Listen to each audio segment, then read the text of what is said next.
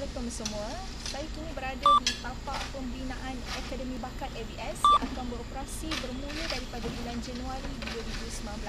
Jadi kami membuka ruang dan juga peluang kepada tuan dan puan yang ingin sama-sama uh, menyertai wakaf dan juga infak bermula daripada RM50 dan uh, sama-sama menjadi individu yang membangunkan Akademi Bakat ABS.